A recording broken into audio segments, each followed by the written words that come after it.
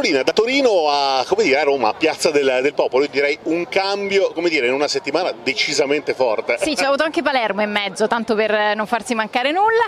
E, no, sono molto felice di essere qui oggi, eh, la comunità di Sant'Egidio è per noi che, che, viviamo qui a Roma è sempre stato un grande punto di riferimento, eh, quindi sono felice che ci sia questa manifestazione che unisca una grande passione come la musica e anche la, la possibilità di dare una mano sempre e comunque. Beh, poi tra l'altro sei reduce dall'Eurovision Soul Contest, una manifestazione che ha dimostrato quello che può fare la musica, ha dimostrato anche il ruolo della musica.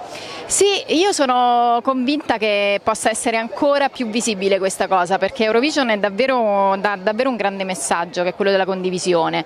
Ehm, e spero che questo aspetto possa sempre venire più fuori e non prenderla solo come una manifestazione musicale, bellissima eh, per carità, però comunque che ha questo davvero questo forte messaggio. Beh, come il messaggio è quello di, di, questa sera, tanto vediamo tanta condivisione, soprattutto tanti ragazzi giovani pronti a portare, un, dire, a portare la propria musica al servizio di quella che è la pace. Beh sì, a partire dal, insomma, dal contest che comunque ti dà un obiettivo, cioè quello di scrivere canzoni con dei temi che siano riferiti alla pace e alla condivisione e poi con tutti gli artisti che ci mettono la faccia e io spero insomma, sempre che siano sempre di più.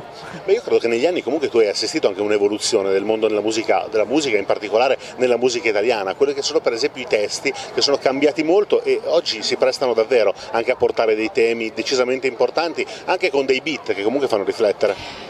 C'è stato un periodo buio, lo possiamo sì. dire da questo punto di vista. Parecchio. Eh, molto buio, eh, ma forse ci serviva per ritrovare poi la strada giusta per eh, questo tipo di, eh, insomma, di direzione su, sulle parole che sono sempre importanti, anche se è chiaro che l'italiano a maggior ragione, eh, cantare in italiano porta con sé un peso importante, ma poi anche una gratificazione altrettanto importante nel momento in cui scrivi delle cose belle. Molto bene, io ti ringrazio e ti auguro buona serata. Grazie anche a voi. E a presto.